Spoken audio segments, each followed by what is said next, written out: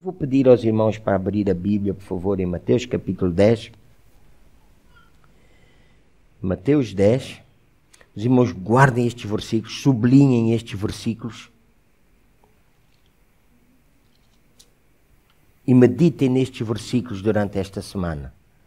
Nós vamos, durante dois domingos ou três domingos, nós vamos falar sobre, uh, sobre isto. Aliás, se calhar um mês ou dois meses iremos falar sobre domínio nós verdadeiramente queremos assumir o domínio que Deus nos deu. E em Mateus capítulo 10, nós vemos o seguinte, no versículo 7 e 8. Jesus estava a falar com os seus discípulos, Jesus estava a, a, a falar com eles e diz assim: E indo, diga comigo, indo, não é estar quieto, não é estar parado, é indo. E indo, Pregai dizendo: O reino dos céus está próximo. Curai os enfermos, limpai os leprosos, ressuscitai os mortos, expulsai os demónios, de graça recebestes, de graça dai. A minha pergunta é: quem é que disse isto? Quem disse? Diga lá, pergunta ao irmão que está ao seu lado: quem disse isto? Pergunta ousadamente: quem disse isto? Pergunta ao que está do outro lado: quem disse isto? E agora responda: quem disse? Quem é que disse? Diga lá: Jesus disse. Mais uma vez: Jesus disse. Será que o irmão pode dizer isto com voz alta? Jesus disse. Foi Jesus que disse. Foi Jesus que disse, diga comigo, foi Jesus que disse: o reino dos céus está próximo. Diga, foi Jesus que disse: curai os enfermos, limpai os leprosos, ressuscitai os mortos, expulsai demónios. Foi Jesus que disse. E a outra pergunta é: a quem? Uhum. Quem disse? E a quem? Diga lá, a mim. Mais uma vez, a mim. Diga, foi a mim que ele disse. Para eu fazer isto. Oh, nesta manhã a minha oração é que isto não fique aqui na cabeça. Nós temos a cabeça cheia de tanta coisa com tão, tão pouca prática daquilo que está na cabeça. Nesta manhã nós oramos no nome de Jesus, que nós entendamos, foi Jesus que disse a nós, igreja, nós, igreja, somos, ouça, nós, igreja, somos aqueles que nós vamos implantar o reino de Deus nesta terra. Trazendo isto que Jesus disse, curar enfermos, expulsar demónios, ressuscitar mortos, ouça, curar os leprosos. De graça recebemos, de graça damos. Foi Jesus que disse. Alguma vez Jesus mentiu? Alguma vez Jesus disse alguma coisa só para preencher o calendário e a agenda? O que ele disse é palavra. Diga lá comigo. O que ele disse é palavra. Diga ousadamente. O que ele disse é palavra. Mais uma vez. O que ele disse é palavra. Em nome de Jesus, diga comigo. O que ele disse é palavra e passa o céu e a terra, mas a palavra de Deus não passará. Passará o céu e a terra, mas a palavra de Deus não passará. Está escrito em Mateus capítulo 10, versículo 40. Mateus 10, 40. Quem vos recebe, a mim me recebe. Quem vos recebe, a mim me recebe. Então Jesus disse: pregai o Evangelho, curai os enfermos, ressuscitai mortos, curai os leprosos, expulsai demónios. E depois ele afirma: quem vos recebe, a mim me recebe.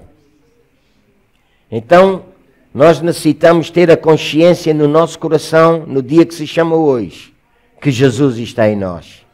E ele afirma: Quem vos recebe, a mim me recebe. E quem me recebe a mim, recebe o Pai que me enviou. E depois ele faz outra afirmação, João capítulo 20 e verso 21. Disse-lhe Jesus de novo: Paz seja convosco. Assim como o Pai me enviou, eu vos envio a vós. Os irmãos podem repetir aquilo que eu acabei de dizer?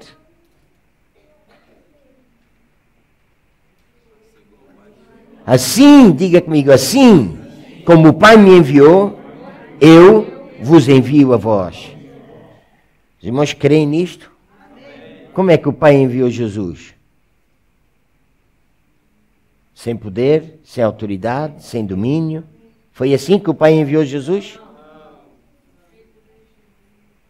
A mim foi dada, disse Jesus, toda a autoridade, todo o domínio no céu e na terra. E Jesus declara: Assim como o Pai me enviou, eu vos envio a vós. E ele ainda faz uma outra declaração poderosíssima. Mateus 10, 20. Nada vos será impossível. Uau!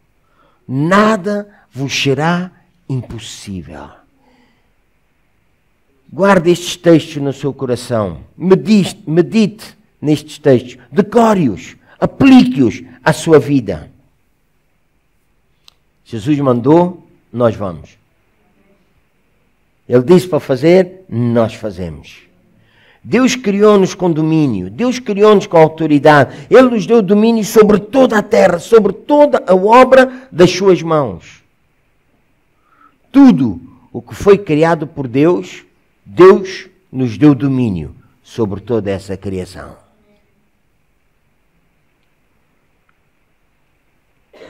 E olharmos para a vida de Jesus, nós vemos então o domínio que ele tinha e que ele exercia.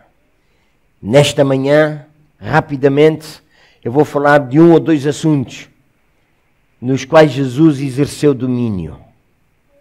Após a sua ressurreição, diz que os discípulos estavam trancados num lugar. Eles estavam completamente fechados.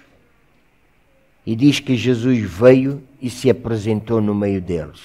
Está escrito em João 20, 26, estavam de novo os discípulos dentro de casa e Tomé com eles. E embora as portas estivessem trancadas, Jesus chegou e apresentou-se no meio deles e disse: Paz seja convosco. Quando nós estamos a falar de domínio, não há porta trancada que esteja diante de nós que possa ser impedimento à nossa vida. Portas trancadas, mas Jesus chegou. Jesus vive em nós. Portas trancadas que estejam diante de nós, nós chegamos, nós passamos, nós ultrapassamos essas portas. Não há impedimentos para a nossa vida. É interessante nós sabermos que nesta ocasião Tomé também estava presente. Sabemos que Jesus já tinha aparecido e Tomé estava cheio de incredulidade, mas nesta ocasião a incredulidade estava com as portas trancadas, mas Jesus apareceu e agora Jesus desfaz toda a incredulidade. E a garantia que nós temos na palavra de Deus é que as portas que Deus abre, ninguém fecha. Diga comigo, a porta que Deus abre ninguém fecha. Mais uma vez, a porta que Deus abre, ninguém fecha. Nós temos domínio sobre todas as portas trancadas que estejam diante de nós. Esta manhã eu estava a relembrar numa determinada ocasião, creio que já compartilhei isto com os irmãos, na cidade da Figueira da Foz, Deus falou ao meu coração para fazer um culto na rua, tal e qual como se faz na igreja, tal e qual levarmos as cadeiras que tínhamos na igreja para a rua, louvarmos, adorarmos, levantarmos oferta, levantar oferta em público. Orar pelos enfermos, expulsar demónios, pregar o Evangelho. Deus falou isso. E eu lembro-me que quando fui falar com o vereador da cultura e do turismo, ele disse que não era possível porque nós não podíamos fazer algo público para influenciar as pessoas. E eu fui segunda vez. E ele disse: Mas eu já disse ao Senhor que isso não é possível. O Senhor não pode fazer isso. Mas eu continuei a orar e na terceira vez que eu fui lá, quando eu disse, ele mostrou irritação. Ele disse assim: Eu já disse ao Senhor que o Senhor não pode fazer. E eu disse: Pois eu venho daqui dizer que vou fazer. E sabe o que aconteceu? A Câmara colocou o palco, a Câmara pagou a eletricidade, a Câmara indicou as pessoas para ir montar tudo tudo que era necessário. E nós da igreja levámos as cadeiras e fizemos o culto e pusemos o som tão alto, tão alto, tão alto, que quem estava a passar, os irmãos conhecem a Figueira da Foz sabem isto, quem estava a passar a ponte ouvia o som do nosso culto. Como é que eu sei isto? Porque o pastor Daniel Leitão chegou atrasado e disse: Paulo, eu vinha na ponte e já vos estava a ouvir. a porta que Deus abre, ninguém fecha. Os homens podem tentar fechar as portas para nós, mas nós temos domínio. Quando nós estamos a fazer a vontade de Deus, quando nós estamos a seguir a instrução de Deus, quando nós estamos no centro da vontade do Senhor, ainda que as portas se tentem fechar, quando Deus fala, nenhuma porta pode permanecer fechada. Nós entramos, nós chegamos, nós chegamos e as portas ficam completamente abertas. Eu lembro-me quando eu tinha a idade de 18 anos, Deus falou ao meu coração para eu ir a Angola. Eu estava em Portugal e Deus falou para eu ir a Angola. Os primeiros seis mercenários que Angola fuzilou. Eu já contei isto aqui aos irmãos também mais que uma vez. E com a idade de 18 anos, Deus disse-me: vai falar com eles. E eu não entendi, porque eu não consegui falar com eles mas eu consegui que o Evangelho chegasse à mão deles. Os Gideões têm o Evangelho em, em, inglês e eu consegui que cada um daqueles seis homens recebesse o Evangelho. E os irmãos sabem uma coisa interessante? O Novo Testamento, o Evangelho. Um daqueles homens era amigo de um pastor que é amigo do pastor profeta Joe Barlow. Há um tempo atrás estávamos a falar nisso e ele falou-me dessa experiência. Glória a Deus. Glória a Deus. E os irmãos sabem eu não consegui falar cara a cara com aqueles mercenários, mas eles receberam a palavra. E Deus abriu portas. Durante aquele tempo, com a idade de 18 anos, às 7 horas da manhã, eu estava a falar na parada dos presos políticos. Mais de 3 mil presos, ouça bem, mais de 3 mil presos naquela prisão. E às 8 horas, às 7 horas da manhã, eu estava a falar para aqueles 3 mil presos. Alguns daqueles presos hoje são pastores em Angola. A porta que Deus abre, ninguém pode fechar. E os homens queriam fechar a porta para mim. Porque eu tinha a idade de 18 anos. Angola, na ocasião, era um país comunista, completamente comunista. Ouça bem o que eu estou a dizer: comunista. E quando eu queria regressar a Portugal para continuar os meus estudos, as portas fecharam-se. Porque eu tinha 18 anos, era a idade do exército. Com 18 anos, eu alistei-me no exército de Angola. Eu estava no exército de Angola, 18 anos. Mas eu tinha a paixão cá dentro. E eu busquei a Deus, Deus, eu preciso de ir acabar os meus estudos. E com 18 anos de idade, eu fui ao guichê das Forças Armadas e eu fui pedir uma licença militar. E quando eu estou a pedir a licença militar, era um alferes que estava do lado de lá, começou-se a rir. Disse, opa, foi mesmo assim que ele opa, com essa idade tu queres estudar para fora? Precisas é de estar aqui na guerra. E eu disse, eu vou fazer guerra, mas não vai ser esta. Ele ria-se para mim. Então, mas o que é que tu queres estudar? E eu disse-lhe, teologia. E quando eu disse teologia, então o homem é que deu uma queres estudar teologia, estás a pedir uma licença para estudar teologia. Eu disse, é isso mesmo, eu estou aqui para fazer. Sabe uma coisa? Uma semana depois, eu tinha a licença militar com tempo indeterminado para eu estudar teologia em Portugal. A porta que Deus abre, ninguém fecha. E quando os homens tentam fechar portas, não há porta alguma que possa resistir ao domínio que nós temos. Porque quando Jesus chega, as portas se abrem, se tornam favoráveis e Jesus está em nós. Diga comigo: Jesus está em mim. Mais uma vez, Jesus está em mim. Diga ousadamente: Jesus está em mim. Então, quando eu chego, diga, declare, quando eu chego, as portas se abrem. Tudo, tudo, tudo se torna favorável à minha vida. Amém. Aleluia. Jesus declarou: Ide. E quando vamos, nada nos pode resistir. Ouça, quando estamos parados, há tantos obstáculos, há tantas adversidades, há tantas portas que se fecham porque estamos parados. Mas quando vamos, as portas se abrem. Eis que eu vou diante de ti Eis que eu tenho posto diante de ti uma porta aberta. Esta é a palavra de Deus para nós. Eis que eu tenho posto diante de ti uma porta aberta. É uma porta aberta para o seu trabalho, é uma porta aberta para o aumento, é uma porta aberta para a promoção, é uma porta aberta para aquilo que os homens têm tentado fechar negócios, heranças, coisas que têm sido fechadas pelo homem. No dia que se chama hoje, nós declaramos: há uma porta aberta diante de nós, porque Jesus está em nós.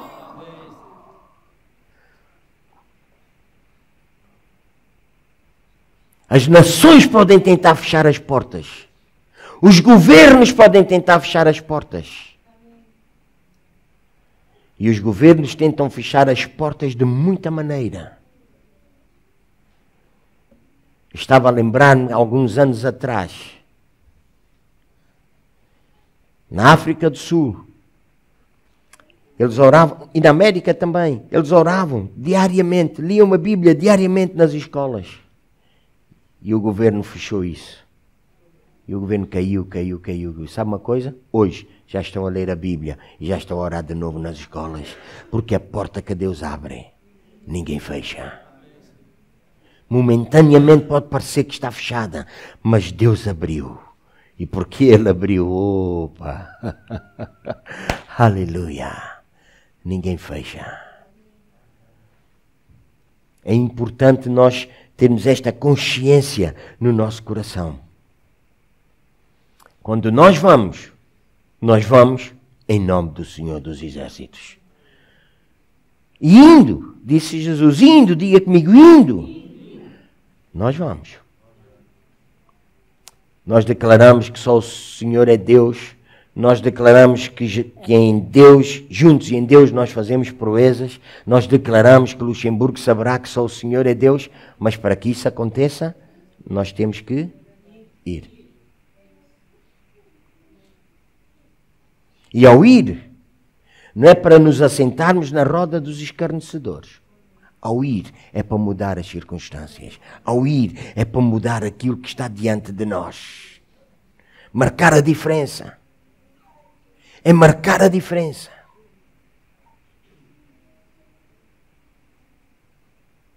Quando vamos, nós vamos em nome do Senhor dos Exércitos. Em determinada ocasião, Jesus deu uma instrução aos seus discípulos. Eu vou terminar com isto nesta manhã. E quando ele dá uma instrução aos seus discípulos, ele disse: Vão e passem para o outro lado e debaixo da instrução de Deus, obedecendo aquilo que Jesus tinha dito, os discípulos meteram-se no barco e passaram para o outro lado. E diz a Bíblia que na quarta vigília da noite, Jesus viu que eles estavam fatigados, cansados, porque se havia levantado um vento, uma tempestade que era contra eles. Diga lá comigo, contra eles mais uma vez, contra eles. E eles estavam cansados. Estavam fatigados, como diz a Bíblia. Diz lá em Marcos 6,48: E vendo-os fatigados a remar, porque o vento lhes era contrário, por volta da quatro vigília da noite aproximou-se deles, andando sobre o mar, e queria passar-lhes à frente.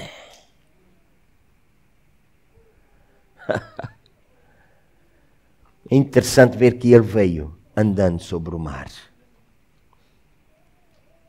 Quando nós vamos, os ventos são contrários. E às vezes até parece que já estamos a ficar esmorecidos, cabisbaixos, com as mãos embaixo.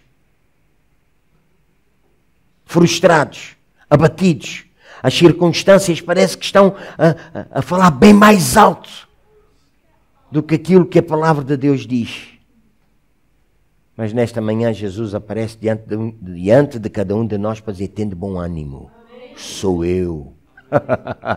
Tenha um bom ânimo, sou eu. E ele vem andando sobre as ondas, ele vem andando sobre a tempestade, ele vem andando enfrentando o vento, enfrentando os obstáculos, enfrentando as tragédias, enfrentando aquilo que se levanta contra nós. Ele vem andando. Ele diz: tem bom ânimo, sou eu. Nesta manhã, uma vez mais, eu relembro que Jesus está em nós.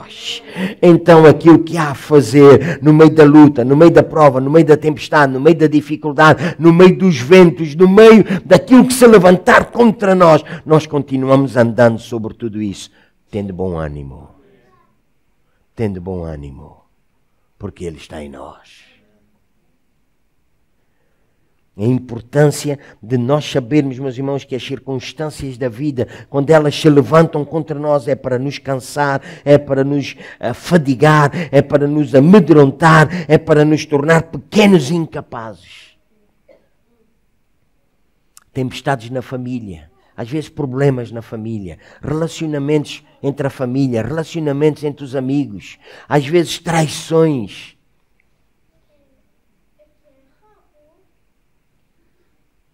Aquelas pessoas às vezes que, que se fazem tão amigos, tão chegados e depois atraiçoam-nos. Às vezes pessoas com quem temos aliança.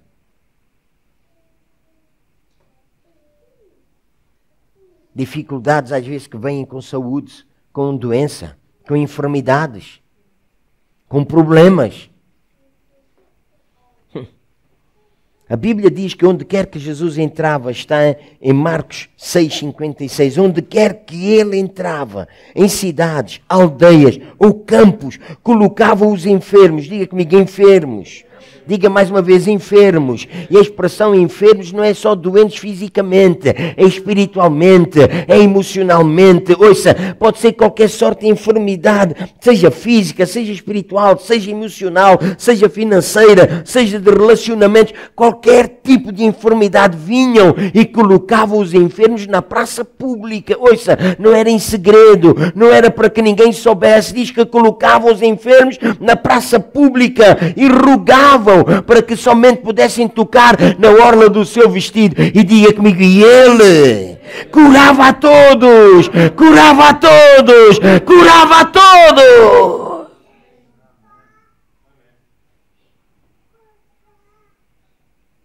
Quando nós estamos, nós estamos para ser a solução de todos os problemas e todas as dificuldades.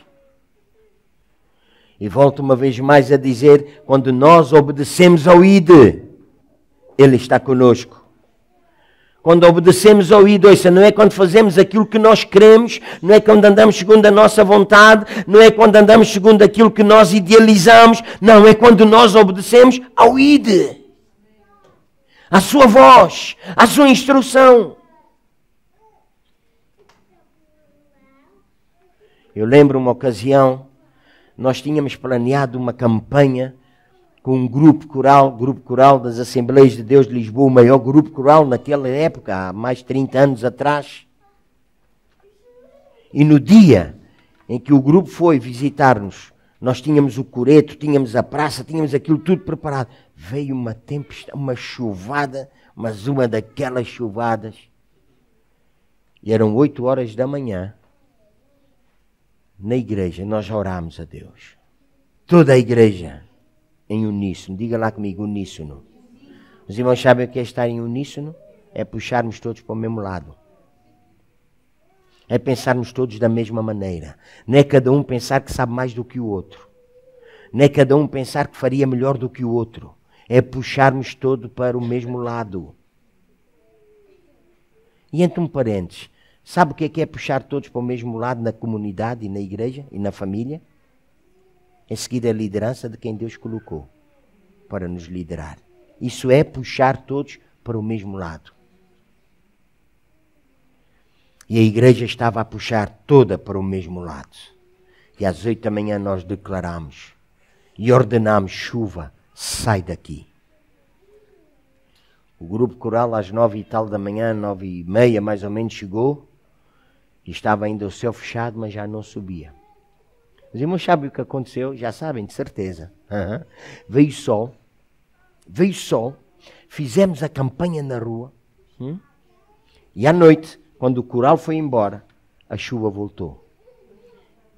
Na altura ainda só via a RTP e a abertura no Jornal das Oito. Ouça bem, a abertura do Jornal das Oito. Jornal Nacional. Foi. Em todo o país choveu. Em toda a zona da Figueira da Foz choveu, excetuando na cidade. Foi um impacto tão grande, tão grande, tão grande, que foi notícia de telejornal. Nós temos domínio sobre as tempestades. Sejam elas físicas, sejam elas emocionais, sejam elas espirituais, sejam elas quais forem. Nós temos domínio sobre as tempestades. Amém? Amém? Eu lembro Anos mais tarde, muitos anos mais tarde, estávamos a fazer uma campanha também com o Coral de Som de Júbilo. E naquele dia estivemos toda a tarde lá na praça, a preparar a praça, a esplanada. Os irmãos conhecem a Figueira de Foz. Tínhamos um grande palco, porque o Coral Som de Júbilo eram mais de, de 80 vozes, e eles faziam uma grande representação. E toda a gente dizia: Epá, vocês estiveram mal, escolheram mal. As pessoas que iam passando escolheram mal o dia, escolheram mal o dia, porque vai chover, vocês escolheram mal. E era para aí volta das seis e meia, sete horas mais ou menos, começou a chover. E eu lembro-me que eu, nosso irmão António Pedro e mais o pastor Carlos Cardoso fomos atrás e demos as mãos e nós declaramos: chuva, vai embora. chuva, vai embora. Os irmãos sabem o que aconteceu? Para surpresa nossa, a chuva foi embora. A chuva foi embora. E naquela noite tivemos mais de 800 pessoas naquela praça a ouvir o Evangelho. Quando vamos, ouça, quando vamos, seguindo a sua instrução, nós temos domínio sobre as portas que estão fechadas. Nós temos domínio. Hoje nós temos domínio até sobre a natureza. Esta manhã eu estava a pensar, Moisés falou para uma rocha e a rocha deu água. Até o jumento falou para o profeta e pôs o profeta em ordem. A sarça falou para Moisés e pôs Moisés em sentido, porque ele estava a começar a fazer as coisas ao seu jeito e a sarça falou para Moisés. Josué falou para o sol e o sol parou. Elias falou para a chuva e a chuva parou e a chuva voltou. Davi falou para o Golias e destruiu Golias. Jesus falou para a figueira. Jesus falou para o vento. Jesus falou para o mar. Jesus falou para a tempestade e tudo lhe obedeceu. E aquilo que está escrito na palavra de Deus, e termino com isto: se não duvidares no teu coração, mas creres que se fará tudo aquilo que dizes, isso será feito, isso será feito, isso será feito, isso será feito. Aleluia!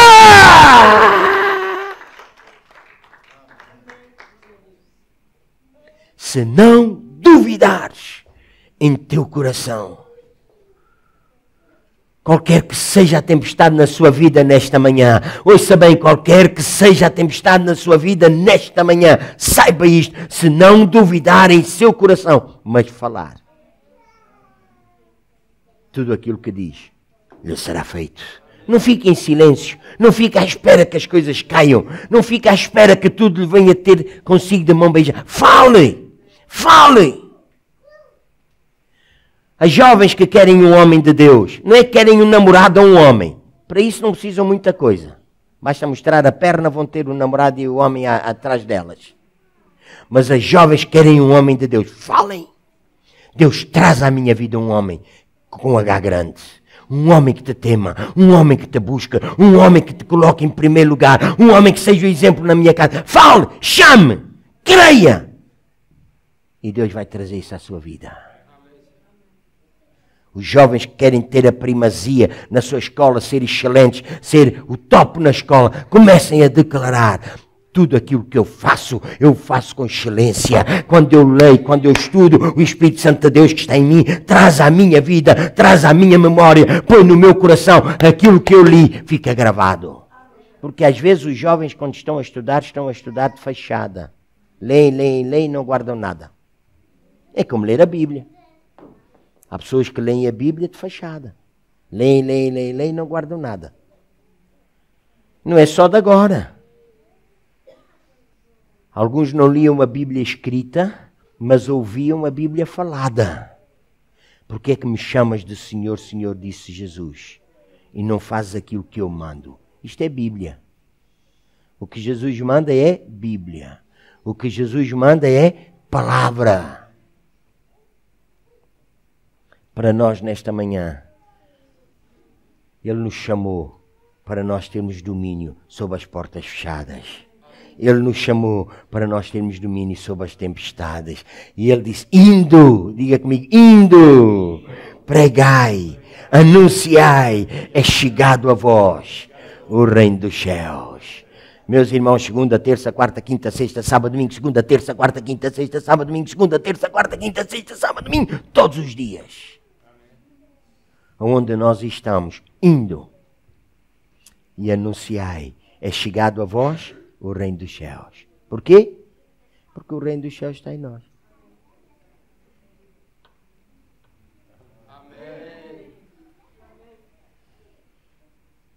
Curai os enfermos. Ressuscitai os mortos. Curai os leprosos. Oh, fantástico. Fantástico. De graça recebeste? De graça dai. De graça recebeste? de graça dai. A graça é Jesus em nós. E é o dom que Deus nos deu para que nós reinemos em vida. Para que nós reinemos em vida. Para que nós tenhamos domínio em vida. E onde quer que nós estamos, nós exercemos esse domínio. Amém. Vamos ficar por aqui hoje. Para a semana vou continuar. Diga lá, eu tenho domínio sobre as portas fechadas. Eu tenho domínio sobre as tempestades, sejam elas quais forem.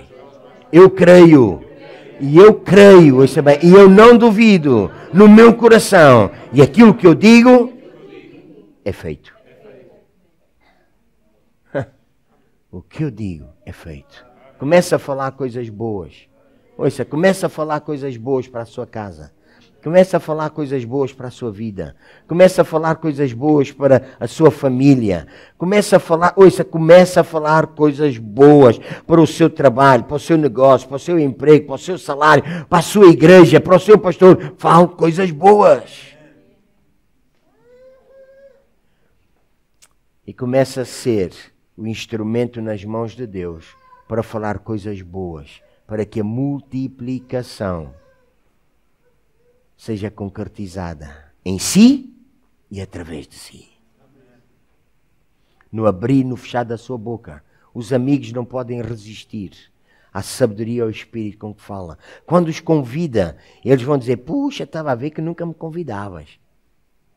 Eles estão à espera do seu convite. Estão a ouvir? O que é que os amigos estão à espera? Os amigos estão à espera do nosso convite. Jovens, jovens, 12 anos, 13 anos, 14 anos, os amigos estão à espera do convite. Sejam cheios do Espírito Santo. Cheios do Espírito Santo.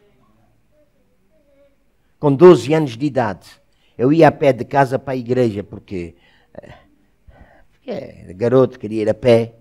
E os irmãos sabem. Ia 12 anos, 13 anos de idade. Eu ia a pé e encontrava às vezes pessoas na rua eram sete da noite, porque lá às sete horas já era noite, noite escura, e eu encontrava algumas pessoas na rua, e sabe que eu ia, ia ter com eles, e venha comigo à igreja. Alguns riam-se, alguns faziam uns cafunézinhos assim, mas alguns foram.